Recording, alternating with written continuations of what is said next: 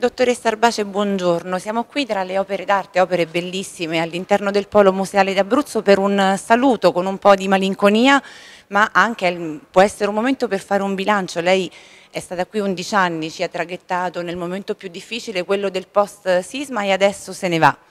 Beh sì, sono stati 11 anni quasi molto, molto intensi, molto impegnativi,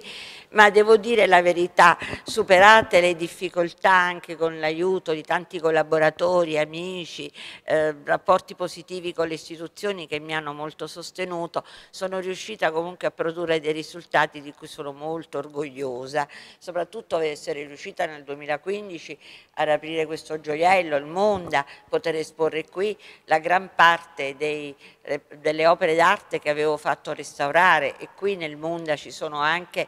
dei esposti dei dipinti o delle sculture come ad esempio il Sant'Antonio Abate di Saturnino Gatti che era stato giudicato irrecuperabile, ci sono stati dei restauri che sono proprio ai limiti proprio della, eh, delle possibilità. E poi anche poter aver, aver avuto l'occasione di coniugare non solo l'alto livello del restauro e eh, la ricerca scientifica per quanto riguarda lo studio dei, dei materiali per, far, per valorizzare il più possibile il patrimonio dell'Abruzzo, ma anche poi aver dato un occhio importante alle tecnologie, perché qui nel Bunda abbiamo comunque dei presidi antisismici, ma come polo museale abbiamo realizzato anche visita virtuale del mondo, scansioni 3D di molte opere, il plastico della città, abbiamo quindi dato anche delle informazioni che sono state molto utili anche durante il periodo della, della chiusura eh, concisa col coronavirus e adesso che abbiamo riaperto abbiamo garantito presidi di sicurezza per i nostri visitatori e abbiamo quindi diamo un'offerta culturale alta ma sicuramente tranquillizzante. Cosa vuole consigliare a chi verrà dopo di lei? Beh guardi ci sono ancora tante opere nei depositi e, eh, però io più che le opere che sono state depositate in questi anni presso altri musei che afferiscono all'ex polo museale, ora di,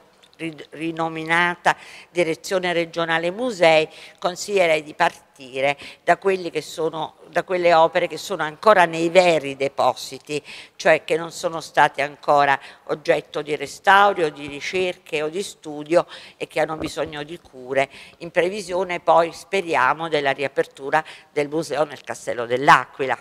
Un'ultima domanda un po' allegra, un po' frivola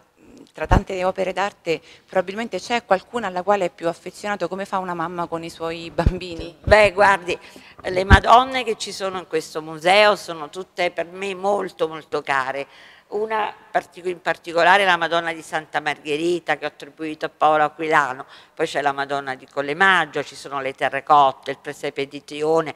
le sculture medievali, diciamo che tutto quello che eh, è riferibile al contesto mariano, per me è particolarmente caro anche perché la, la, figura femminile, e lo abbiamo dimostrato anche in occasione della mostra dedicata alla, alla Madonna Lactans, alla Madre Generosa lo scorso anno, è qualcosa di veramente eh, da approfondire perché la, la cultura dell'Abruzzo ha avuto un grande legame proprio con quelle che erano le attività che erano delegate alle donne.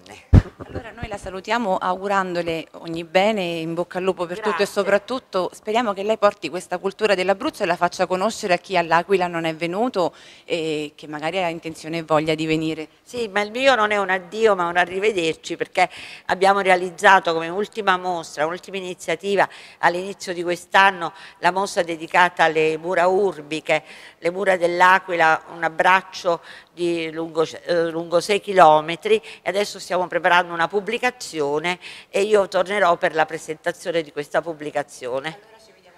Grazie, sì, senz'altro.